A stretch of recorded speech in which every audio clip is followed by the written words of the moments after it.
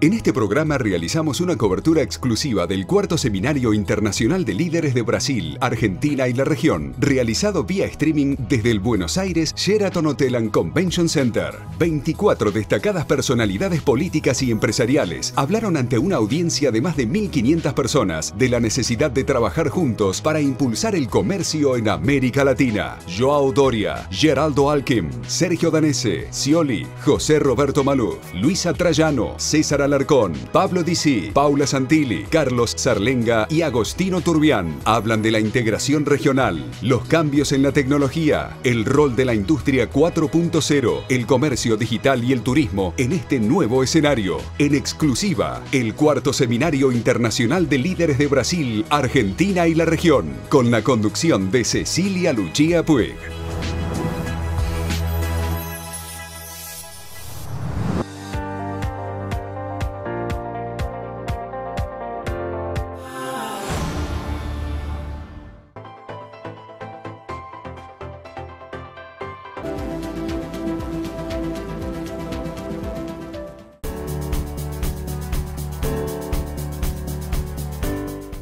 Energía renovable para renovar nuestro compromiso. Por eso en Toyota, como parte del desafío medioambiental 2050, nos asociamos con IPF Luz para producir con energía 100% renovable en nuestra planta de Zárate.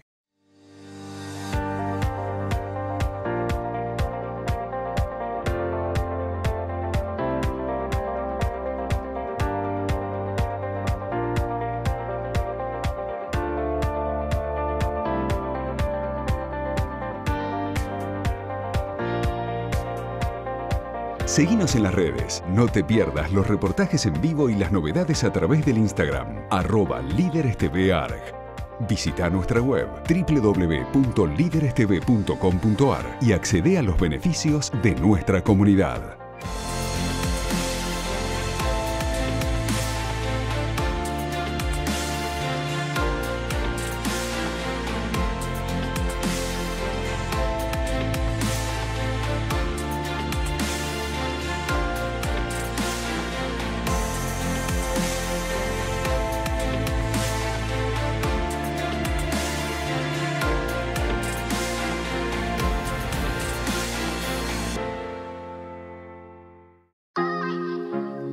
Esta nueva normalidad nos eh, estimuló la creatividad y tuvimos que obviamente eh, traerle una solución a aquellas eh, personas que necesitaban realizar eventos híbridos donde hay gente presencial en el hotel y gente que toma obviamente esta reunión de una manera virtual.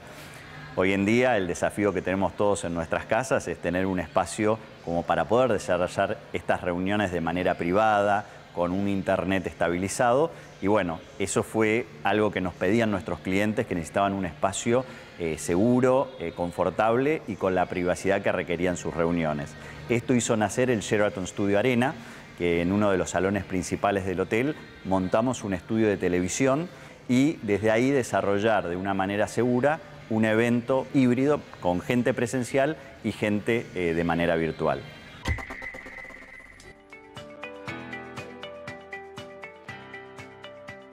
Buenas tardes.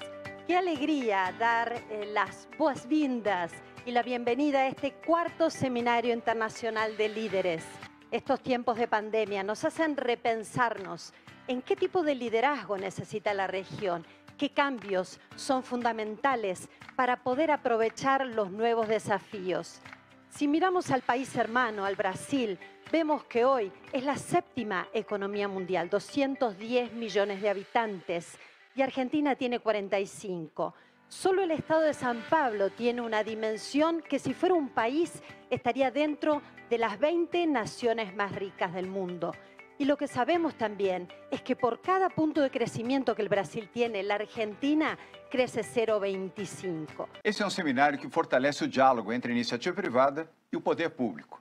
Um encontro essencial, a meu ver, para aprofundar a relação entre os dois países da América Latina. Uma relação que fortalece a indústria, o livre comércio, o turismo e também a defesa da vida. E o nosso governo é um governo liberal que apoia o setor privado. Por isso, vamos continuar fazendo o que estamos fazendo, apoiando a livre iniciativa, apoiando a entrada de novos investimentos no Brasil, apoiando também uma boa relação com todos os nossos vizinhos. Não há visão política em relação a nenhum país vizinho ao Brasil. Todos devem ser tratados de forma fraterna e como bons parceiros comerciais no ir e vir. A mão da economia é a mão dupla, de um lado e de outro. E nós reconhecemos isso aqui em São Paulo, seja com a Argentina, seja com a China ou com qualquer outro país que neste momento, como em muitos outros momentos, uh, empresários, líderes empresariais uh, e líderes políticos uh, brasileiros e argentinos possam se reunir para discutir os muitos interesses comuns que unem os dois países e eu acho que muito especialmente em um momento em que os dois países enfrentam uma situação de crise agravada pela pandemia do Covid-19 que nos causa tanta preocupação. Mas eu acho que é justamente nesses momentos que é preciso uh, trabalhar conjuntamente para que se possa encontrar uh, soluções para os problemas que nós estamos enfrentando e trabalhar com a perspectiva de que essa situação vai passar e de que, é, estando mais bem preparados para enfrentar o período novo que vai chegar, nós vamos obter melhores resultados. Eu acho que a relação Brasil-Argentina, apesar dos problemas que nós temos enfrentado, La relación entre Argentina y Brasil es estratégica porque en este contexto internacional y por los efectos de la pandemia, soy convencido que juntos vamos a salir más rápido de las consecuencias que trajo, desde lo productivo, de lo social, desde lo económico, el COVID-19. Y por eso, desde el principio de la gestión, hemos trabajado profundamente junto a Cancillería, junto a Itamaraty, junto a mi colega embajador brasileño en Argentina, en potenciar esa integración, que no se limita a la parte comercial, que tiene que ver con la integración energética, integración infraestructura, cultural, social.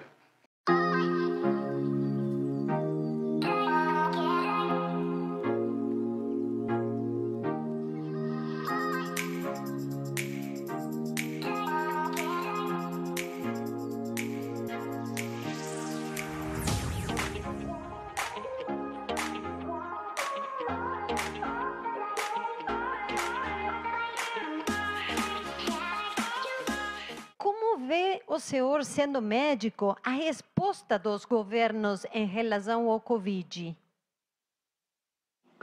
Olha, Cecília, eu entendo que, uh, na realidade, ninguém estava preparado para uma pandemia desta dimensão que atingiu os cinco continentes. Nós já tínhamos tido, em 2002, um coronavírus, SARS-CoV-1, mas ele foi mais limitado à Ásia. Depois, 2008, 2009, outra epidemia por vírus, H1N1. Em 2012, outro coronavírus, MERS, mas foi mais limitado ao Oriente Médio. 2015, Ebola, outro vírus, mas mais limitado à África. 2019, SARS-CoV-2, aí atingiu o mundo inteiro, é, praticamente.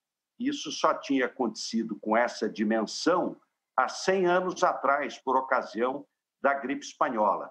Então, foi uma bateção de cabeça enorme, porque vírus novo, pouco conhecimento.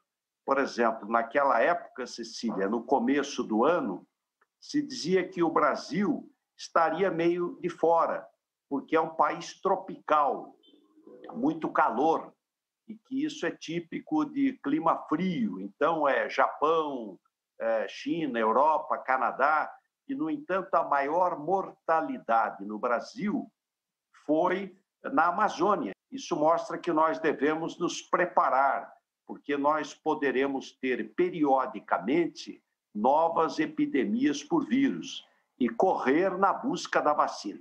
O que, que o senhor acha em relação às, às vacinas e serão elas é, o ponto final para esse vírus?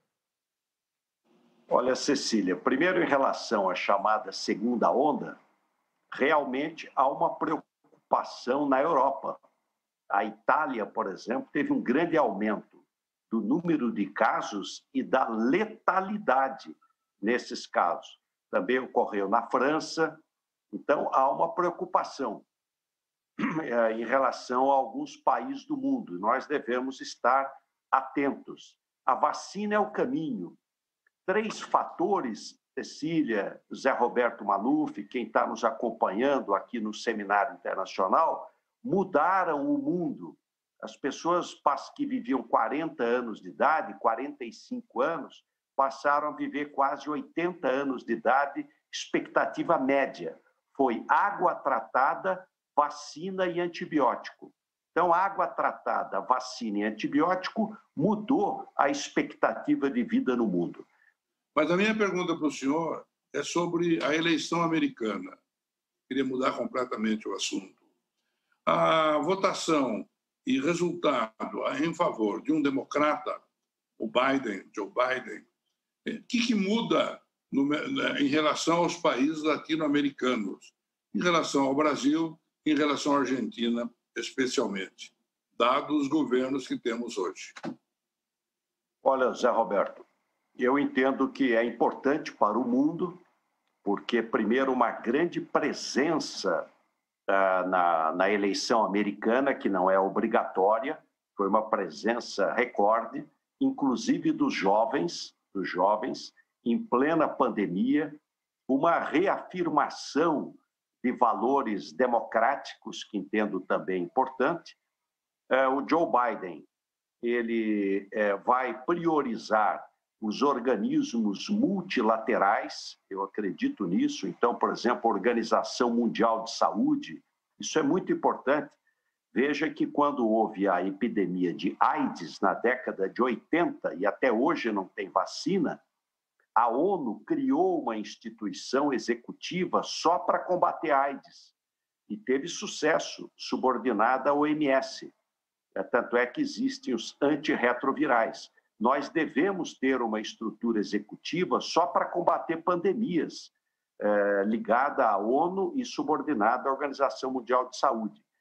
Eu entendo também que o Joe Biden, e nós temos que estar atento, ele vai tentar fazer, tentar fazer a contenção da expansão comercial chinesa, eh, fortalecendo também blocos.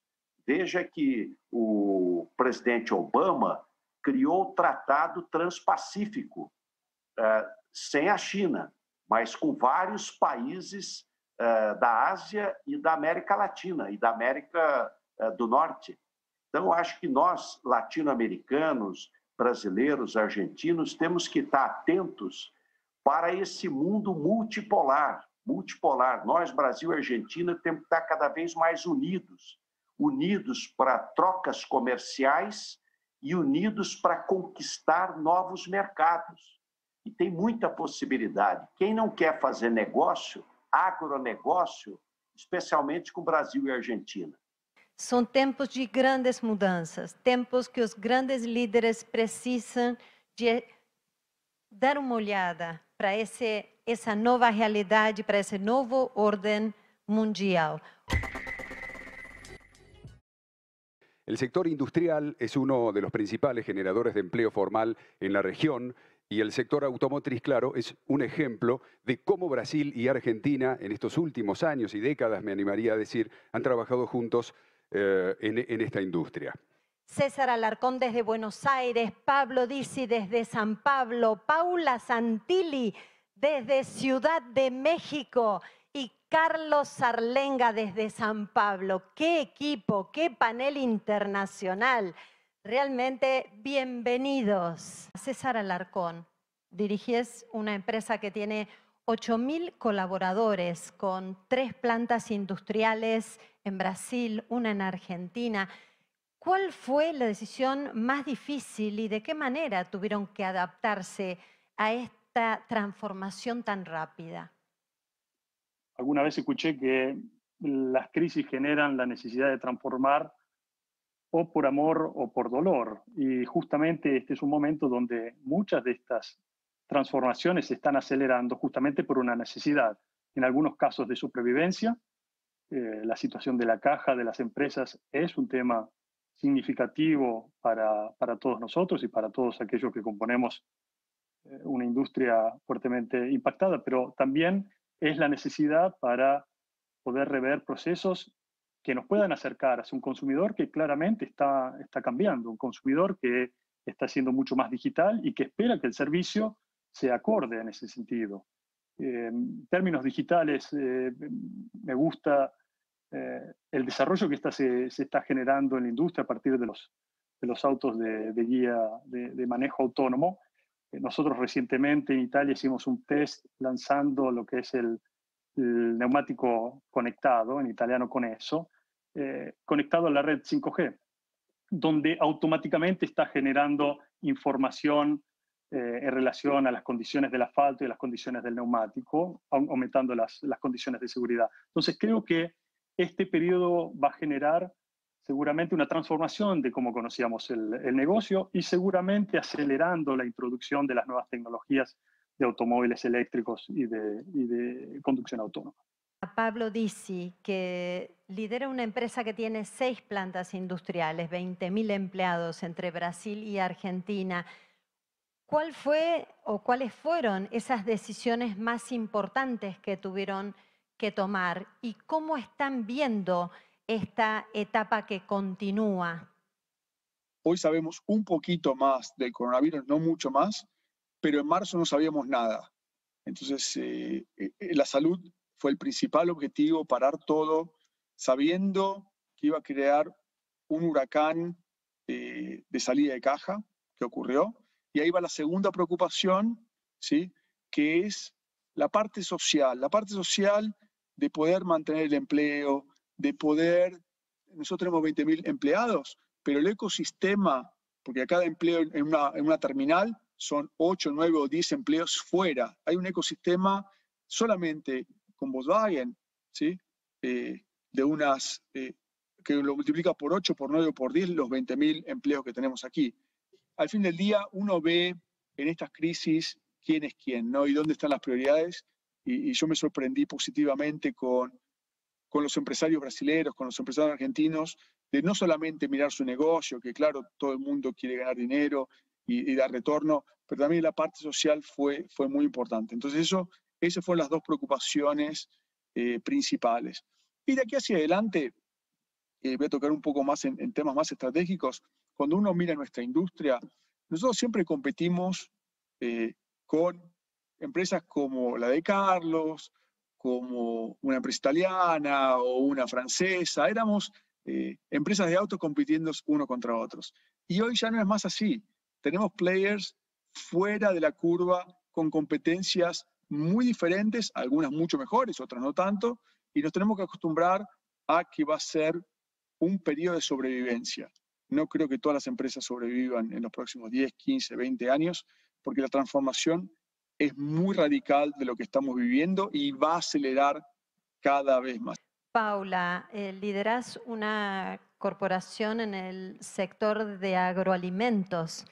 Eh, ¿Qué cambios has visto en los consumidores, en el tipo de consumo y de, eh, y de tiempos en el que acceden a los alimentos en esta pandemia y de qué manera Pepsi correspondió?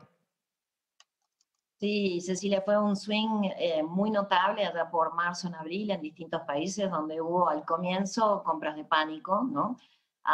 y donde un consumidor claramente se volcó a comer y desayunar y almorzar, etcétera, dentro de la casa, muy diferente eh, de lo que era el hábito anterior, ¿no? Así que para, nosotros sí representó un cambio de mix de categorías de consumo muy importante así eh, también representó un cambio, por ejemplo, de tamaños de empaque, ¿no? Antes teníamos mucha más venta en bolsitas pequeñas, en envases más pequeños, y el consumo se pasó a bolsas mucho más grandes, a marcas que son eh, típicamente le gustan a todos adentro del hogar, etc. Carlos, quisiera preguntarte, eh, ¿qué tiempos le das o cómo imaginas el desarrollo hacia el tema de los autos híbridos o eléctricos eh, o con usos de energías renovables, especialmente teniendo en cuenta que vivimos en países con grandes extensiones territoriales Y esa transformación también desde el acceso a la energía, ¿no? Eh, lo hace más difícil. ¿O ves que este tipo de energías renovables va a ser más para los city cars? Yo creo que en América del Sur esto va a demorar mucho más.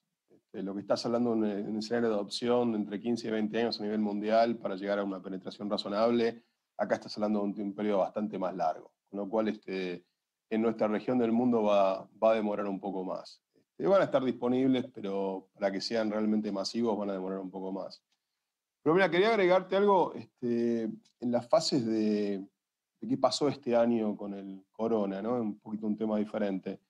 Eh, Pablo te comentó dos temas que fueron importantes para toda la industria, ¿no? El tema de la seguridad, el tema de la caja y después cómo volver a trabajar, cómo volver a llegar las plantas de gente y cómo no impactar el ecosistema. Y ahora viene, eso fue, si querés, lo que pasó ahora, pero viene el mirar hacia adelante, ¿no? Y ahí este, yo te diría dos cosas que creo que son importantes. Eh, uno, eh, el impacto en América del Sur fue bastante mayor que lo que hemos visto en otras partes del mundo. Eh, casi elegí la región y la región más impactada del mundo desde el punto de vista económico fue América del Sur. Este, y en nuestra industria eso se sintió muchísimo, entonces la pregunta es cuándo volver a crecer. Yo creo que no vamos a ver niveles este, similares al 2019 eh, hasta el 2023. Ponele con un poco de suerte en el 22, pero estás dando un escenario de cuatro años de recuperación para, para la industria.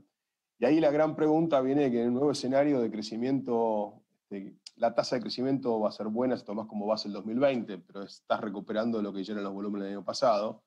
¿Cómo cambia el perfil de inversiones? Y en un mundo, eh, y, y te hago la conexión al cambio tecnológico, vos pensás que este es un mundo que está invirtiendo, una industria que está invirtiendo en el mundo muchísimo en la transformación este, del auto 1.0 a auto 2.0. Todo el dinero está yendo a electrificación, autónomos, etcétera, y se está sacando dinero, si querés, del modelo tradicional eh, automotriz. Entonces, ¿en qué se invierte el modelo tradicional, el modelo de, motores de combustión interna? Bueno, básicamente se invierte en aquellos productos que vos querés que generen el retorno que te van a dar la caja para poder invertir en las tecnologías que vienen. O sea que son inversiones que tienen que tener una certidumbre alta del punto de vista del retorno. Son inversiones que tienen que tener este, perfil de riesgo más bajo.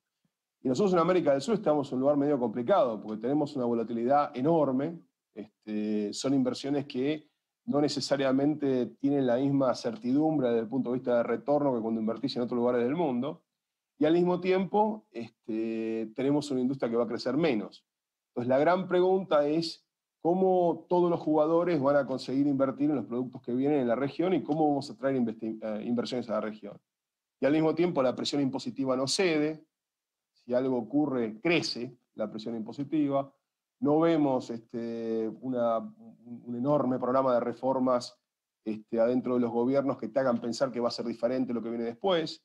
Entonces te diría que ahora que, la marea bajó un poco y se tranquilizó un poco la situación del corona, parecería, este, la pregunta sobre el futuro es la que toma relevancia y al mismo tiempo es una pregunta muy preocupante por lo que estamos viendo en el corto plazo. Eh, quisiera preguntarles, ¿a dónde ven eh, que va la región? ¿no? Porque tienen responsabilidades regionales y estamos viendo un cambio en la geopolítica mundial, incluso con la llegada de Joe Biden como presidente de los Estados Unidos. ¿Ven que hay algún espacio que nuestra región pueda aprovechar? ¿Y de qué manera podemos aprender de la experiencia de ustedes en esta integración que sus empresas ya viven en lo cotidiano en Brasil, Argentina y la región, teniendo en cuenta que ese es el foco de nuestro seminario? Eh, creo que un aspecto ah, de la industria de neumáticos en Latinoamérica está caracterizada actualmente por una sobrecapacidad de, de producción y que los mercados domésticos, sea de Argentina y de Brasil, actualmente y por los próximos inmediatos años eh, no van a absorber. Entonces creo que eh, resulta fundamental comenzar a hacer políticas de incentivo, incluso fiscal, incluso para promover las exportaciones, porque creo concretamente que existen a partir del nuevo diseño geopolítico y del diseño geopolítico que estamos viendo en los últimos eh, recientes años, oportunidades para generar mayores exportaciones, principalmente para el mercado de los Estados Unidos. Pablo. Creo que precisamos continuar invirtiendo en lo que ya sabemos hacer, que es toda la parte de agronegocio, ser el supermercado del mundo. Creo que tanto Brasil y Argentina tienen una competencia increíble eh, y tenemos que foco en la educación, porque si no, eh, a medida que los continentes, estas tecnologías, si hablamos de auto autónomo, pero puede ser cualquier otra cosa, eh, los mundos se van a ir en caminos separados, los países más desarrollados y los otros.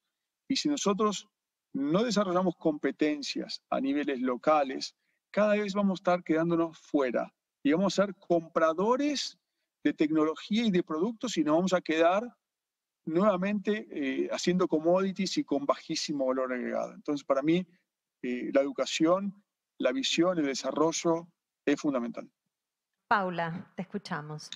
Sí, sí, todos los que estamos aquí en este panel, todos los que trabajamos en PepsiCo, estamos en el negocio de generar prosperidad en Latinoamérica. De eso que no les quepa ninguna duda. Yo estoy trabajando fuertemente como líder de esta compañía en generar más y mejor prosperidad, generar una inclusión social, eh, equidad eh, entre eh, toda la población en Latinoamérica. Y para eso necesitamos trabajar juntos, de forma colaborativa, no solamente con las empresas, eso es algo que hacemos muy a menudo, sino también con las autoridades locales, ¿no? Creemos que tenemos mucho, pero mucho que aportar a las autoridades locales para generar juntos un camino de mayor prosperidad. Esa es nuestra misión, Ceci.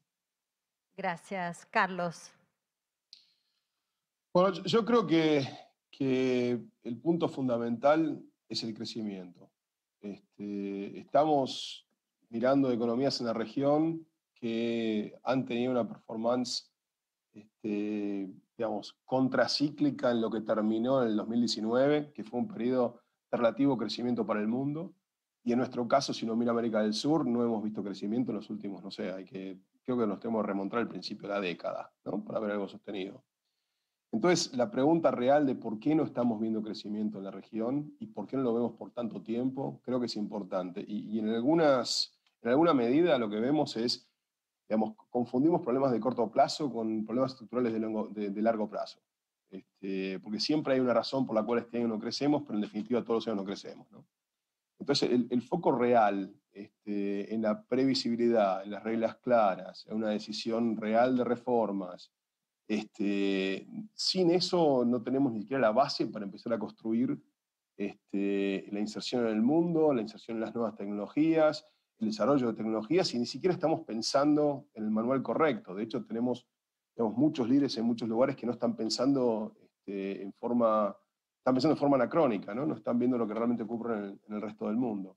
Tenemos que retomar un camino de crecimiento del producto importante, en la próxima década, porque sinceramente no hay más tiempo. Si no, estamos condenando a nuestra región a, un futuro muy difícil. Gracias, Carlos. Gracias, César Alarcón, Pablo Disi, Paula Santilli y Carlos Arlenga por este panel extraordinario. Grandes líderes de la región que se han reunido acá en el cuarto Seminario Internacional de Líderes para compartir su experiencia, su visión y para ver de qué manera podemos trabajar juntos en pos de una región que necesita del esfuerzo, del trabajo, de la humildad de cada uno de sus líderes.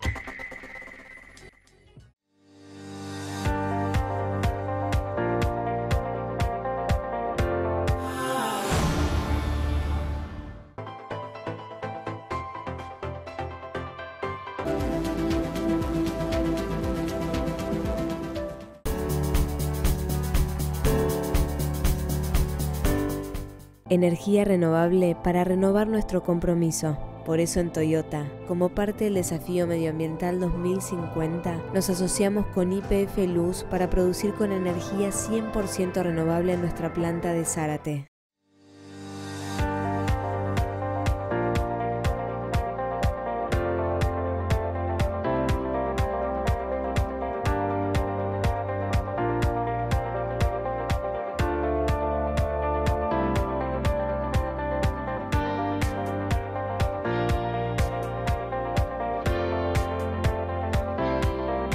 Seguinos en las redes. No te pierdas los reportajes en vivo y las novedades a través del Instagram, arroba líderestvarg.